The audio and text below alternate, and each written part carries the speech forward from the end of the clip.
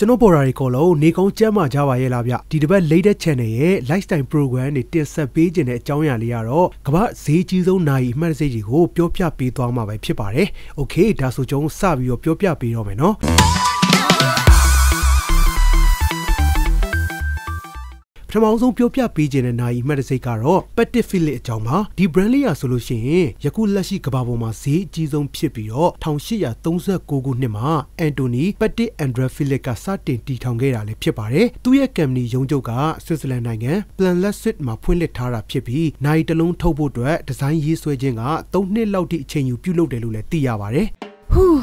ဘောက်တွေထားပြီးခေါင်းနေရတယ်ရားလိုက်တာဟာစပင်းနေရလဲကျွတ် နှစ်ခွားတွေကလည်းဖြစ်နေဟာ Glorella S Clean Shampoo ဥယျာဉ်ပြစီပြန်သူများအတွက်ဥယျာဉ်ပြကိုတန့်စင်စေပြီးရရမှုမရှိပဲစပင်ကျွတ်ခြင်းနဲ့ပေါက်ထခြင်းကိုကာကွယ်ပေးတယ် Glorella Scalp Care Shampoo ပျ က်စီးသွားတဲ့ဆန်သားတွေကိုပြန်လည်ကျန်းမာတန်ဆွမ်းစေပြီးသပင်ကျွတ်ခြင်းကိုကာကွယ်ပြီးဥယျာဉ်ပြားနဲ့ဆန်သားကိုကျန်းမာတန်ဆွမ်းစေပါတယ်။ conditioner ပါဝင်တာကြောင့်ဆန်သားကိုနူးညံ့ပျော်ပြောင်းစေတဲ့ Glorella Shampoo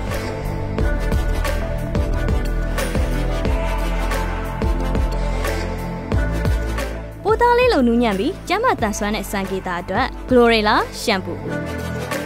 Glorella Shampoo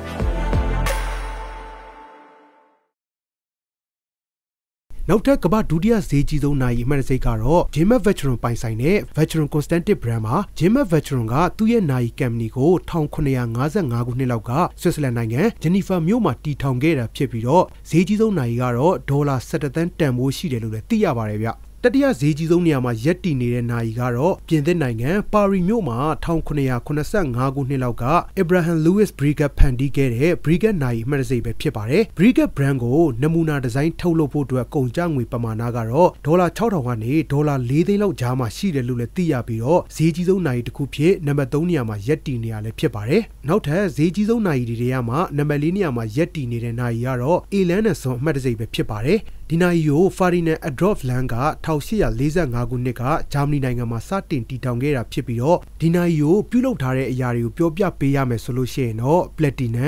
နမ်နှင်းစီရွှေရွှေပြူနဲ့အဝါရောင်ရွှေတွေအပါအဝင်အစစ်မြင့်ပစ္စည်းမျိုးမျိုးတွေကိုတုံးဆွဲပြီးတော့ထုတ်လုပ်ထားတဲ့နိုင်ဖြစ်တာကြောင့်လူသိပိုများလာတာလည်းဖြစ်ပါတယ်ဗျပစ္စမမြောက်နေရာမှာရှိနေတဲ့နိုင်ကိုဖော်ပြပေးရမယ်ဆိုလို့ရှိရင်တော့ Adama Biggest အမတ်တစိမ့်နိုင်ပဲဖြစ်ပါတယ် Adama Biggest ကို1885ခုနှစ်မှာ Joe Louis Adama နဲ့ Agu Biggest တို့ကစတင်တည်ထောင်ခဲ့တာဖြစ်ပြီးတော့ထုတ်လုပ်ထားတဲ့နိုင်ပုံစံတွေက luxury ပစ္စည်းစံနှုန်းတွေနဲ့ကိုက်ညီနေရလဲဖြစ်ပါတယ်အကောင်းဆုံးသောပစ္စည်းများကိုအသုံးပြုထားတာဖြစ်ပြီးတော့လူကြိုက်များလာတဲ့အယောင်တွေနဲ့အလှဆင်ထားတဲ့လက်ပတ်နာရီတွေကို Organera ရဲ့အုတ်တံမဏိဖြစ်ပြုလုပ်ထားပြီး2006ခုနှစ်မှာတော့ကမ္ဘာအနှံ့ပြားမှာနာရီအလုံး20ကိုသာအကန့်အသတ်နဲ့ထုတ်လုပ်ခဲ့တာလည်းဖြစ်ပါတယ်။နာရီရဲ့အပြင်ပိုင်းကိုတော့ Platinum နဲ့ထုတ်ဝေမှုကြောင့်လူသိပိုများလာပြီးတော့ Adama Biggest နာရီအမှတ်တစိတ်ကဆွစ်ဇာလန်နိုင်ငံမှာရုံးချုပ်ဖွင့်လှစ်ထားတဲ့ကမ္ဘာပေါ်ရှိပြည်စမမြောက်တန်ဖိုးအကြီးဆုံးနာရီအမှတ်တစိတ်တစ်ခုဖြစ်ရပ်တည်နေရလည်းဖြစ်ပါတယ်။ ဒီနေ့ဗီဒီယိုလေးမှာပြောပြတင်ဆက်ပေးခဲ့တဲ့ကမ္ဘာဈေးကြီးဆုံးနိုင်အမှတ်တစိတ်တွေကိုပရိသတ်များကလည်းဘူးတူတာရရှိပြီးတော့ကြိုက်နှစ်သက်လိမ့်မယ်လို့မျှော်လင့်ပါတယ်။နောက်လာမယ့် latest channel ရဲ့ lifestyle program တွေလည်းဘလို့စိတ်ဝင်စားစရာကောင်းတဲ့အကြောင်းအရာလေးတွေကို